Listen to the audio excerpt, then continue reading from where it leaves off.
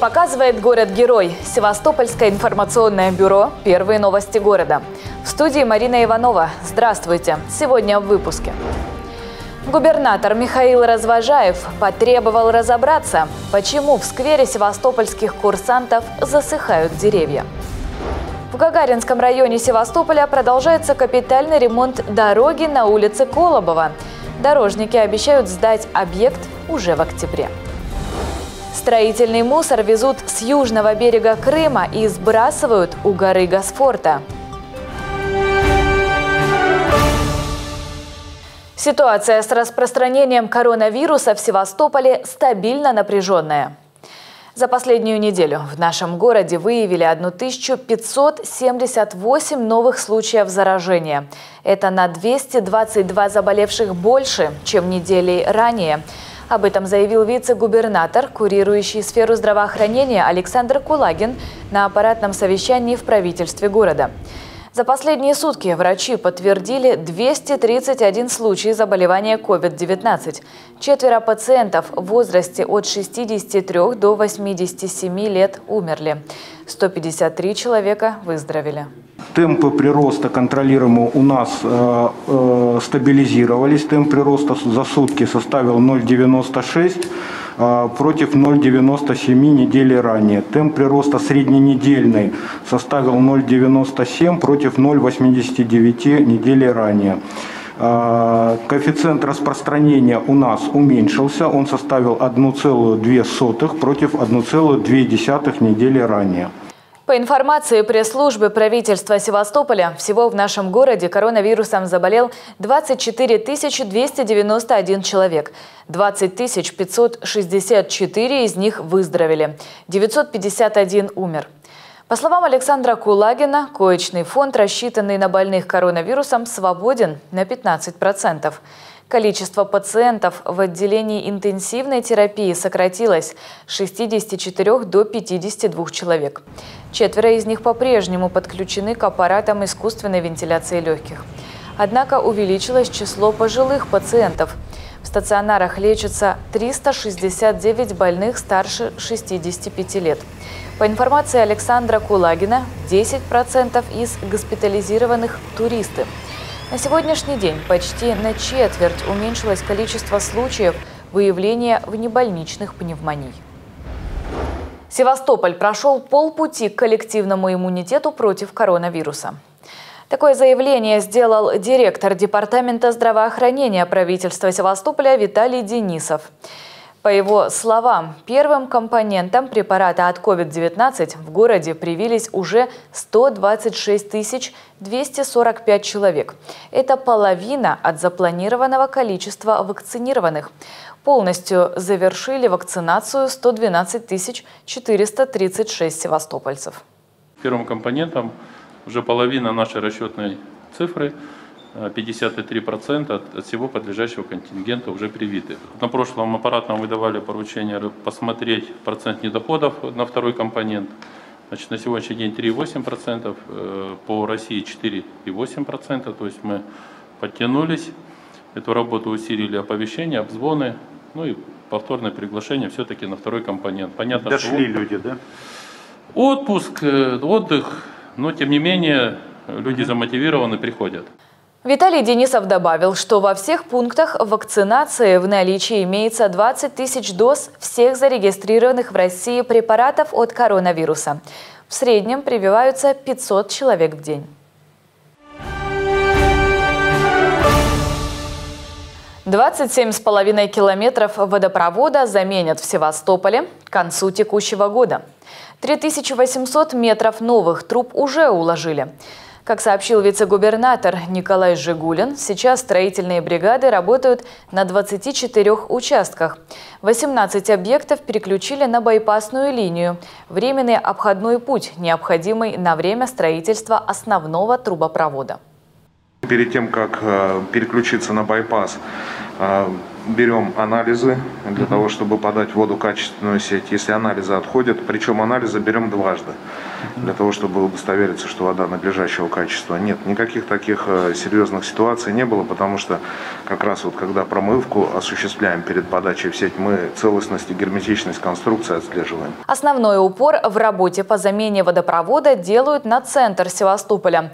К примеру, на улицу Ленина вышла дополнительная бригада для ускорения работ.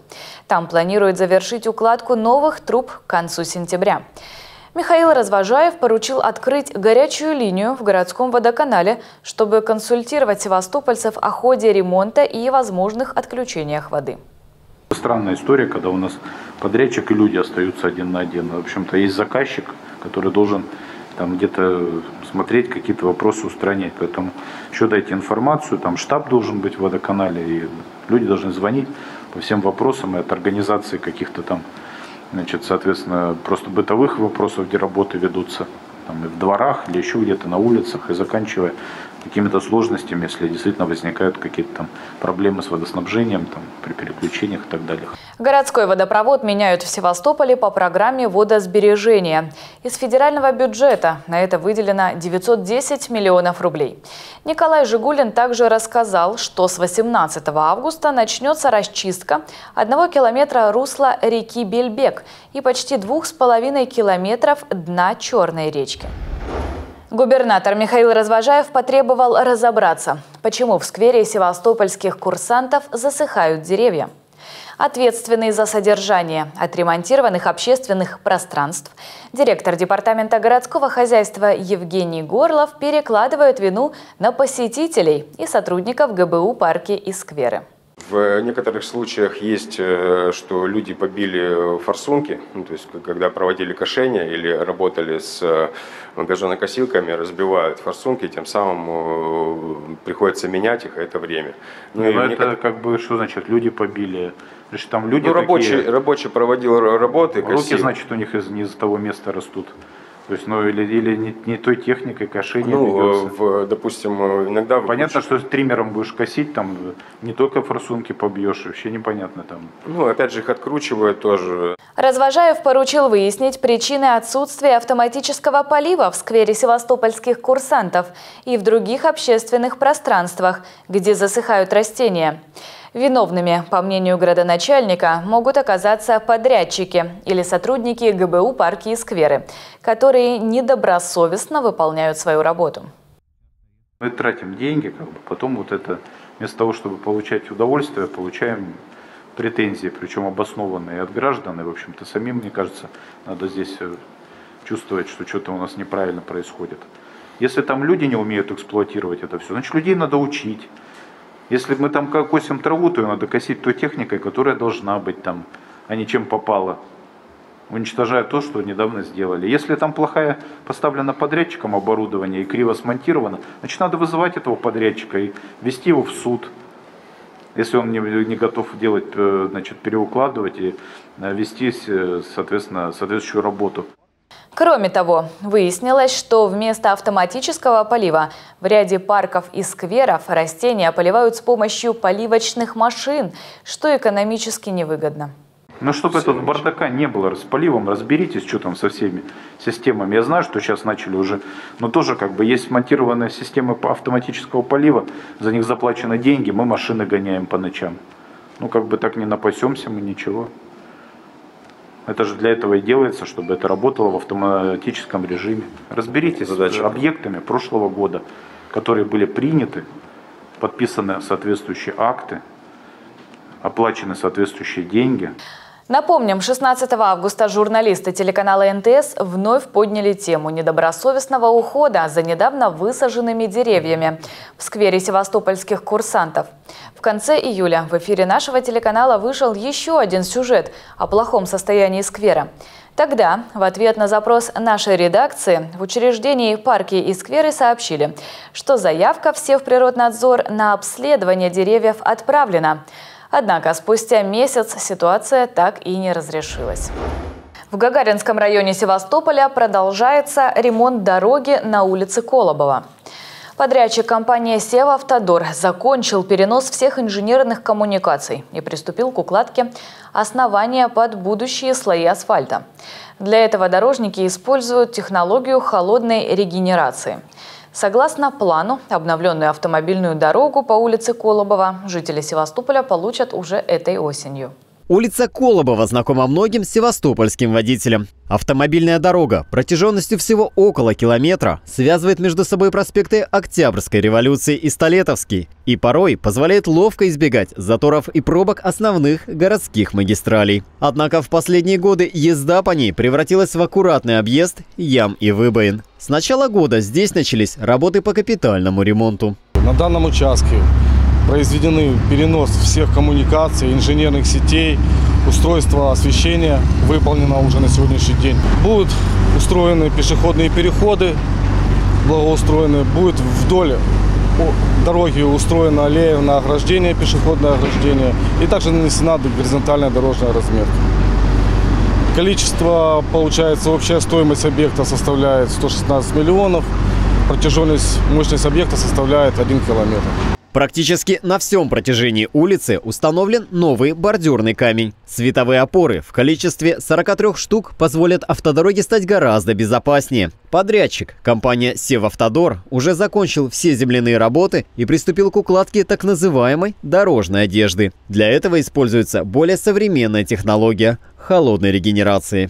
Преимущество в скорости выполнения работ, в том, что вот этот весь материал, который был старый на дороге, повторно используется, то есть э, нету никакой там утилизации, ни загрязнения, ничего. То есть все э, заново перерабатывается с добавлением цемента и получается крепкая монолитная, можно сказать, плита, ну, которая основание лучше, чем щебеночное основание в конце концов. После капитального ремонта дороги на улице Колобова появятся две автобусные остановки в обе стороны. Кроме того, проектом предусмотрено создание четырех парковочных зон. Для безопасности пешеходов в районе школы номер 37 разместят лежачих полицейских. В настоящее время на объекте задействованы два десятка единиц дорожной техники и до 40 человек рабочих. Общая готовность объекта составляет 75%. Завершатся все работы уже в октябре 2021 года года. Николай Кузнецов, Александр Устич, Севинформбюро. Учебный год для севастопольских школьников может начаться позже. Необходимость перенести праздник 1 сентября на две недели власти объясняют ухудшением эпидемической ситуации в городе. О том, что такая мера сейчас прорабатывается, в эфире севастопольского телевидения сообщил губернатор Михаил Развожаев – Решение правительства Севастополя примет на следующей неделе во время заседания оперативного штаба по борьбе с COVID-19. Тем не менее, подготовка к началу учебного года в Севастополе продолжается. В школьных классах проводят санобработку, а учителя проходят вакцинацию. Крымские спасатели продолжают в круглосуточном режиме бороться с последствиями сильных ливней, которые недавно вновь обрушивались на регион. Сотрудники МЧС адресно помогают пострадавшим, откачивая воду из подвальных помещений и придомовых территорий. Всего с начала аварийно-спасательных работ было откачано почти 5,5 тысяч кубометров воды из 49 объектов. Штормовое предупреждение объявлено накануне о прохождении сильных осадков на территории восточных районов Крыма подтвердились. Кроме того, сегодня объявлено новое штормовое предупреждение о выпадении сильных осадков в течение дня и до конца суток. В связи с этим обращаюсь к жителям и гостям полуострова соблюдать все рекомендации и требования безопасности, э, объявленные Главным управлением. Группировка сил и средств от исчез более 600 человек выполняет задачи по ликвидации последствий штормового предупреждения. Работы продолжаются, ситуация под контролем. В работе задействованы 304 единицы техники, 21 плавсредство и 34 мотопомпы спасательного ведомства. Продолжается расчистка русел рек. Более 6 километров спасатели уже отработали. Ливнестоков и дренажных систем. В оперативном режиме принимаются решения о создании временных гидротехнических сооружений для отвода воды от домов жителей республики, искусственных преград и дамб. Ситуацию отслеживают круглосуточно, в том числе с помощью летательных аппаратов. В пункте временного размещения на данный момент находится 19 человек, семеро из них дети. С людьми работают психологи МЧС. В понедельник, 16 августа, в немецкой балке специалисты искусственно обрушили обвалоопасный склон. По словам главы Севприроднадзора Юлии Гавриловой, в городе идет постоянный мониторинг береговой линии на предмет опасных зон. В случае их выявления специалисты передают информацию в МЧС и приступают к немедленным действиям. В данном случае э, цепочка это сработала, данные мониторинга поступили, э, коллеги подключились все ведомства и работы такие выполняются. Мы в рамках э, комиссии по чрезвычайным ситуациям провели обследование полностью береговой линии северной стороны города. Э, координаты определены, материалы направлены коллегам прям с точным указанием, где конкретно нужно работы такие выполнять. Информация об опасных участках также поступает от подрядчиков, которые отвечают за пляжи, подчеркнул глава Качинского муниципального образования Николай Герасим. У нас э, непосредственно вся информация э, поступает от жителей, от гостей э, очень быстро и молниеносно, скажем так. Во-вторых, у нас существуют подрядчики, которые у нас отвечают за уборку пляжей, которые тоже ходят, постоянно мониторят и предупреждают также жителей о опасности нахождения на пляже. Напомним, 15 августа специалистами были ликвидированы опасные участки склона в районе села Андреевка и очищено около 20 метров береговой линии. Работы по искусственному обрушению будут продолжаться. Строительный мусор везут с южного берега Крыма и сбрасывают у горы Гасфорта. В понедельник, 16 августа, жители села Морозовка остановили четыре самосвала, груженных строительными отходами. Согласно сопроводительным документам, груз планировалось сбрасывать близ горы Госфорта. Люди незамедлительно вызвали полицию. Такой сомнительный сбыт грунта, очень похожего на строительные отходы, происходит уже несколько дней. Территория, которая передана ночным волкам, в использование превращается в настоящий мусорный полигон.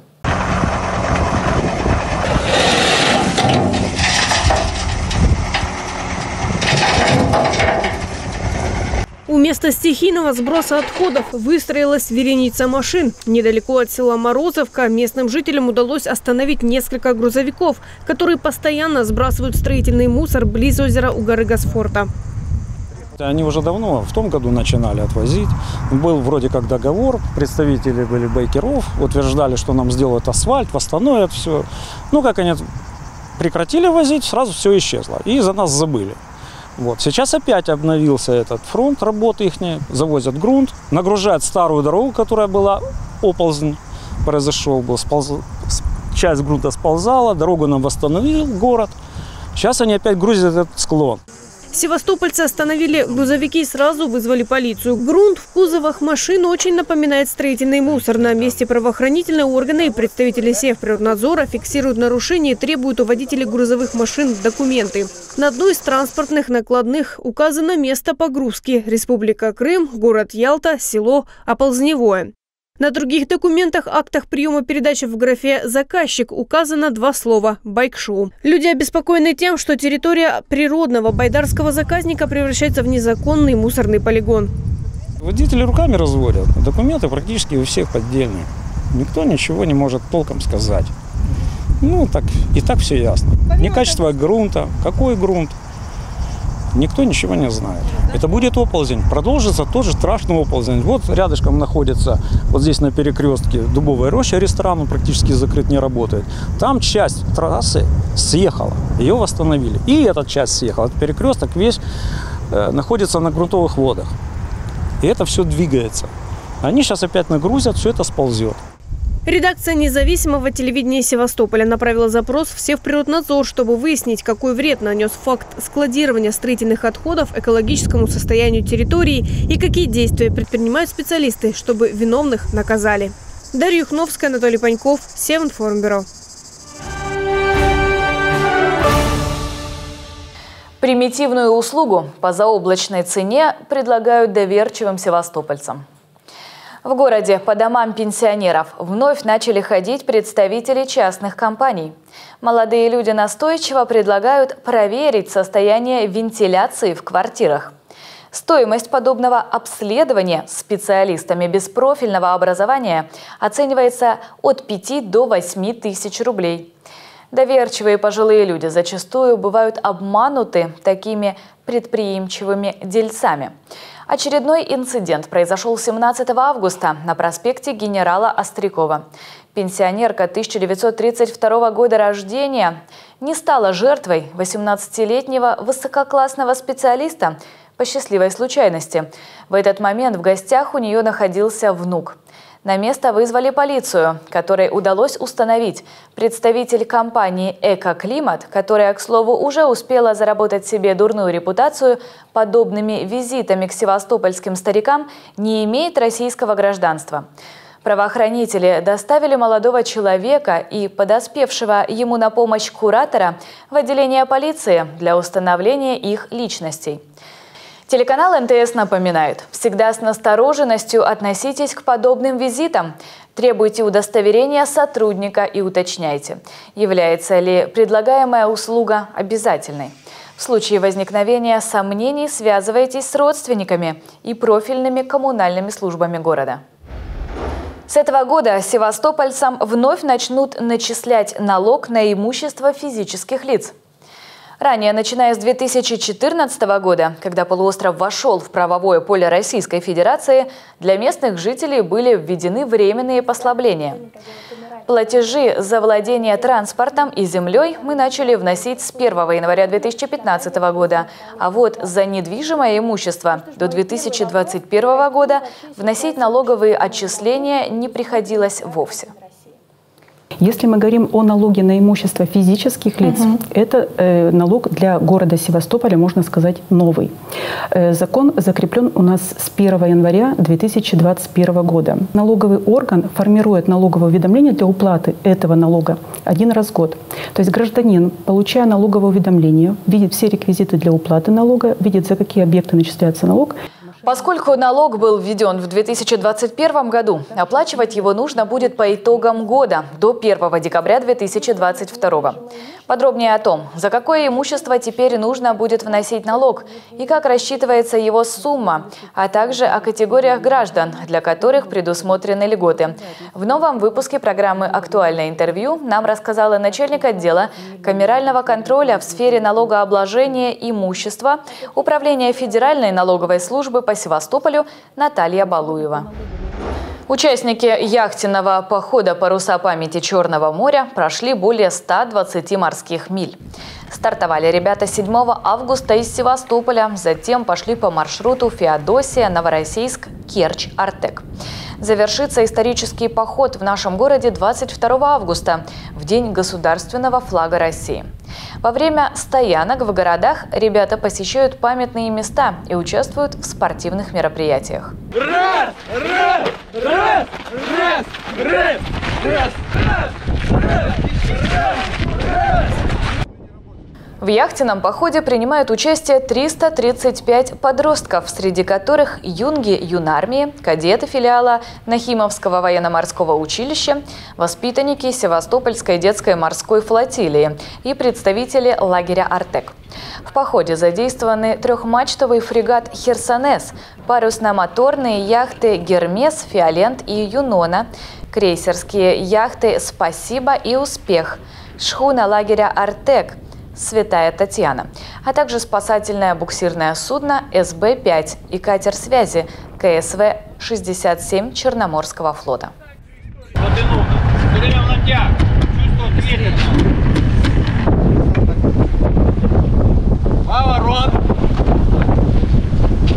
И в завершении выпуска о погоде. По информации севастопольских синоптиков, в среду 18 августа в городе ожидается переменная облачность без осадков. Ветер северо-западный 5-10 метров в секунду. Температура воздуха 27-29 градусов со знаком «плюс». За минувшие сутки в Севастополе на свет появились 9 детей, 5 мальчиков и 4 девочки. А на сегодня это все. Телефон редакции 59 2060, а также мобильный плюс 7 978 931 31. Уточнить информацию или же оставить свою вы можете на нашем сайте ntsdefistv.com. Ждите новостей. До встречи!